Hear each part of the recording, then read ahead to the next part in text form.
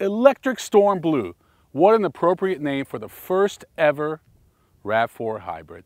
You know, the RAV4 has been around since 1994. It's now in its fourth generation, actually fourth and a half. This is a mid-cycle refresh, so they've made some changes. Got a new face, got a new ass, and they got a new model, an SE model. They've also added, the, for the very first time, a hybrid.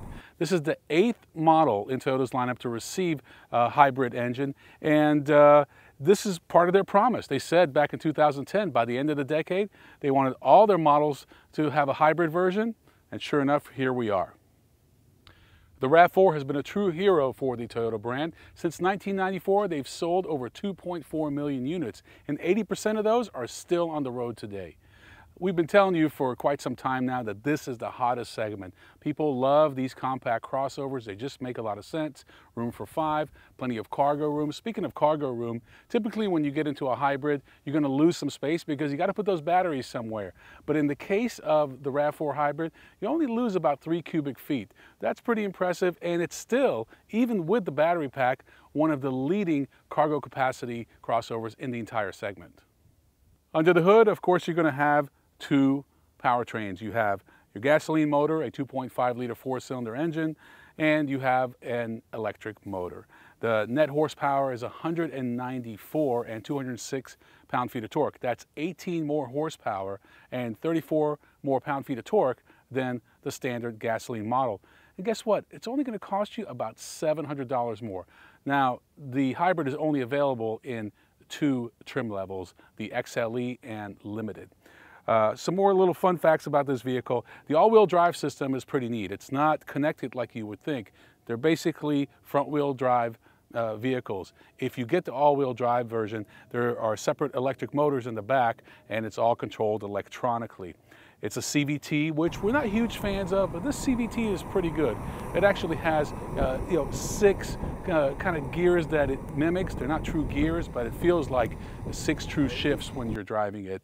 Um, overall, it's all about fuel economy, right? 34 in the city, 31 in the highway, combined 33. Having driven the RAV4 hybrid back to back versus the gasoline model, you do notice that it has better acceleration. So you're not going to lose anything in that department. In fact, you're going to gain as well as gain significant fuel economy. Despite its six sequential shifts or uh, what I call fake shifts, uh, it still is a CVT, feels like a CVT. So uh, no matter what they do to these, I don't think they'll ever uh, provide drivers with that true enthusiastic uh, you know, step shifts that we're accustomed to. Uh, you also have uh, this new bird's eye view monitor. We've seen this from other manufacturers, but what Toyota's managed to do is stitch it all together so it's very seamless. Uh, gives you a nice fluid picture as opposed to having having it uh, sectioned off into four quadrants. From the interior design, they could have been a little more consistent. You have round vents on the outside, rectangular ones on the inside. I know I'm being picky, but it would have been nice to have everything consistent. Uh, but the nice uh, upgrades to the interior are very uh, welcoming. On the outside, they kind of raised the front a little bit, raised the back a little bit to give it more of a rugged SUV look. Let's be honest, this is a compact crossover. It's not a rugged SUV. It's not a Land Cruiser. It's not a 4Runner. It's a RAV4. You want to make a rugged SUV? Well, make a body-on-frame miniature version of the Land Cruiser. But for now, it's a very solid crossover. And as far as recommendations, they're all pretty good. RAV4, CR-V, Escape, just to name a few. The new Tucson is really solid. It's going to come down to what what really uh, is being offered at the time.